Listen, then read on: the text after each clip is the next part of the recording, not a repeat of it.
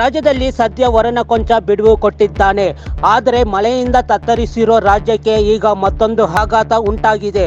November ಇಪ್ಪತ್ತಾರರಿಂದ ವಿಪರೀತವಾದ ಚಂಡಮಾರುತ ಅಪ್ಪಳಿಸುವ ಸಾಧ್ಯತೆ ಇದೆ ಎಂದು ಹವಾಮಾನ ಇಲಾಖೆ ಮುನ್ನೆಚ್ಚರಿಕೆ ನೀಡಿದೆ. ಬಹುತೇಕ ಎಲ್ಲ ಕಡೆ ಚಂಡಮಾರುತ ಪ್ರಭಾವ ಬೀರಲಿದೆ. ಬೆಂಗಳೂರು ಬೆಂಗಳೂರು ಗ್ರಾಮಾಂತರ, ರಾಮನಗರ, ದಕ್ಷಿಣ ಕರ್ನಾಟಕ, ಚಾಮರಾಜನಗರ, ಚಿಕ್ಕಬಳ್ಳಾಪುರ, ಕೋಲಾರ, ಮೈಸೂರು, ಎಲ್ಲ ಕಡೆ ಭಾರಿ ಮಳೆಯಾಗುವ ಸಾಧ್ಯತೆ ಇದೆ. ನವೆಂಬರ್ ಇಪ್ಪತ್ತಾರರಿಂದ ಡಿಸೆಂಬರ್ ಹದಿನೈದರವರೆಗೆ ಭಾರಿ ಮಳೆಯಾಗುವ ಮುನ್ಸೂಚನೆ ಸಿಕ್ಕಿದೆ. ತಮಿಳುನಾಡು, ಆಂಧ್ರ ಪ್ರದೇಶದಲ್ಲಿ ಭಾರಿ ಮಳೆಯಾಗಲಿದ್ದು ಬಂಗಾಳ ಕೊಲ್ಲಿಯಲ್ಲಿ ವಾಯುಭಾರ ಕುಸಿತದಿಂದ ಸೈಕ್ಲೋನ್ ಆಗಿ ಬದಲಾಗುವ ಸಾಧ್ಯತೆ ಇದೆ ಎಂದು ಹವಾಮಾನ ಇಲಾಖೆ ತಿಳಿಸಿದೆ.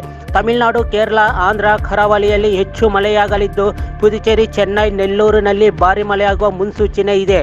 ನೆರೆ ರಾಜ್ಯಗಳಲ್ಲಿ ಮಳೆ ಹಿನ್ನೆಲೆ ನವೆಂಬರ್ ನವೆಂಬರ್ ಇಪ್ಪತ್ತಾರರಿಂದ ರಾಜ್ಯದ ಹಲವೆಡೆ ಮಳೆಯಾಗುವ ಸಾಧ್ಯತೆ ಇದೆ. ತಮಿಳುನಾಡಿನಲ್ಲಿ ವಿಪರೀತ ಮಳೆ ಸುರಿಯಲು ಪ್ರಾರಂಭಿಸಿ ಆದಾಗಲೇ ವಾರದ ಮೇಲಾಯಿತು. ಅದರೊಂದಿಗೆ ಆಂಧ್ರಪ್ರದೇಶ ಕೇರಳ, ಪುದುಚೇರಿಯಲ್ಲೂ ಒಂದೇ ಒಂದೇ ಸಮ ಮಳೆಯಾಗುತ್ತಿದೆ. ಐಎಂಡಿ ದಕ್ಷಿಣ ತಮಿಳುನಾಡು, ಪುದುಕೋಟೆ ಮತ್ತು ಡೆಲ್ಟಾ ಜಿಲ್ಲೆಗಳಲ್ಲಿ ಅಲ್ಲಲ್ಲಿ ಇಂದು ಭಾರಿ ಮಳೆಯಾಗುವ ಸಾಧ್ಯತೆ ಇರುವುದರಿಂದ ಹಳದಿ ಅಲರ್ಟ್ ಘೋಷಿಸಲಾಗಿದೆ. ಇನ್ನು ಮುಂದಿನ ಐದು ದಿನಗಳ ಕಾಲ ತಮಿಳುನಾಡಿನ ಎರೋಡ್ ನಮಕಲ್, ಕಲಕುರ್ಚಿ ಮತ್ತು ಪೆರಂಬೋಲ್ ಜಿಲ್ಲೆಗಳಲ್ಲಿ ಮಳೆ ಮುಂದುವರಿಯಲಿದೆ.